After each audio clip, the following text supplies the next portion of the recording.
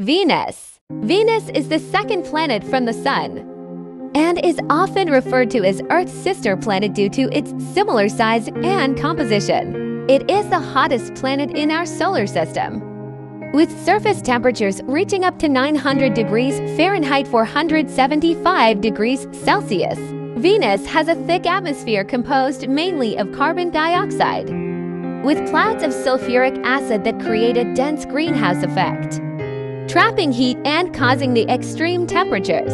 The planet has no moons or rings.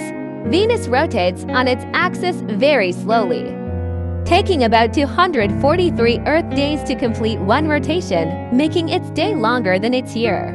It is named after the Roman goddess of love and beauty.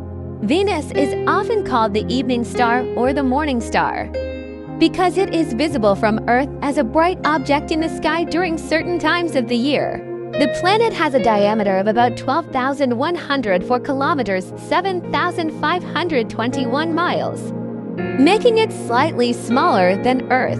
Venus has a very dense atmosphere, which creates a surface pressure about 92 times that of Earth's atmospheric pressure.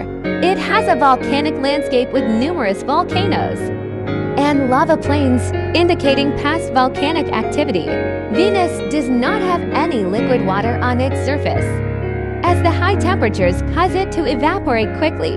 The Soviet Union's Venera program successfully landed several spacecraft on Venus in the 1960s and 1970s, providing valuable data about its atmosphere and surface conditions. Please subscribe to our YouTube channel.